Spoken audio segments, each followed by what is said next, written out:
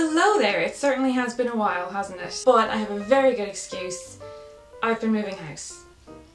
Again. In just over a year I have moved six times, count 'em, six, from my mother's house into an apartment in Dublin, back to my mother's house for two months before moving to London into an apartment in Bayswater where I stayed for about a month, into an apartment in Lancaster Gate with my boyfriend Ollie where we lived for six months and then moved to King's Cross for another six months and I have just left King's Cross to move here. And I'm not someone who even really deals with change very well. I like to have my things around me, I like to feel very at home. And on top of that, every place that I've moved out of has been in some way kind of big for me or sentimental. Moving out of my mother's is of course difficult because it's, you know, it's my home. And that apartment I had in Dublin was the first apartment that I had sort of independently, out on my own living with a crazy Spanish woman who I think deserves a whole other vlog all to herself. And then moving back to my mother's for two months was weird. It was a really emotional time because I knew I'd be leaving for London in two months. Then I get to London and I'm living in Bayswater for a month, very temporary, living out of a suitcase. And then the next big step I take is to move into Lancaster Gate with my boyfriend Ollie, which is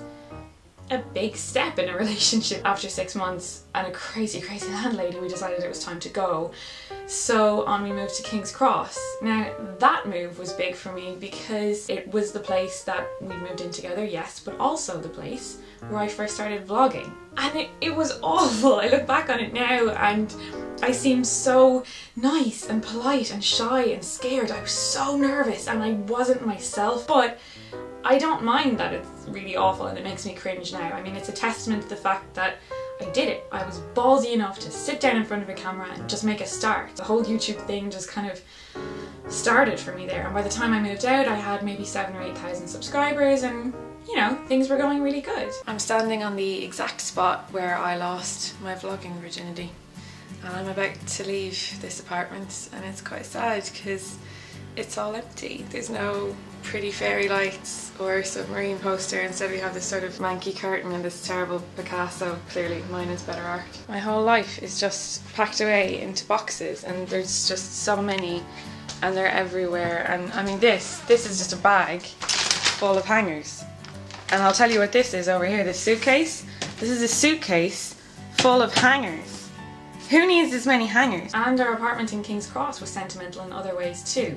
Yes, we'd already been living together for a while and yes, I'd already been doing YouTube for a while, but by the time I left King's Cross, I had passed 20,000 subscribers, I'd made about 30 videos and was in about 30 other videos on people's channels. I don't know, I think I was starting to feel finally like a validated member of the community and I still don't 100% feel like I'm one of the YouTubers, but that's where it started to sort of happen for me. In fact, I was so sad about leaving that I tried to sort of stage a sit-in, well, uh, lie in the fetal position in. And through all these moves, I always seem to be struck by the same two things, which is that my whole life condenses down into boxes and at the same time I'm hit by how many boxes there are and I'm sorting through them and pulling out things that honestly I didn't even really know I owned. I'm putting my books away on the shelves and remembering the experiences I had as I went through those stories with those characters and what time in my life I went through them at. And the same with my films. Some are good, some are bad, some I'm wondering why the hell I ever bought this. But they meant something to me at some point in my life or they remind me of something and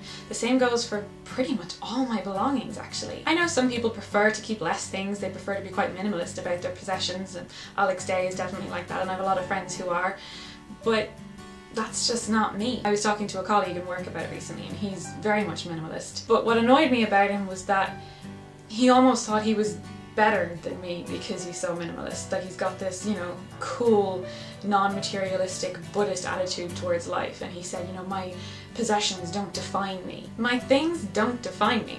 If anything, I define my things. They are a representation of the choices that I've made to get to where I am now and I very much choose to have and to keep the ones that I want to have around me. And moving house, stressful as it may be, is actually a really good way to take stock of all those things.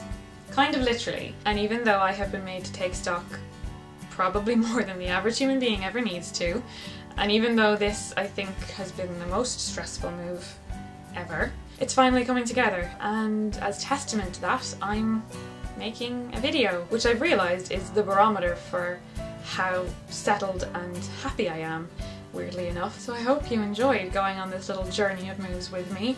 If you did and you want to subscribe, please do so. You can also follow me on Twitter at the Hazel Hayes. I promise I do read every single comment. I can't always reply, but I do my very best. So until I see you here again, or until I hear from you on Twitter, Slán.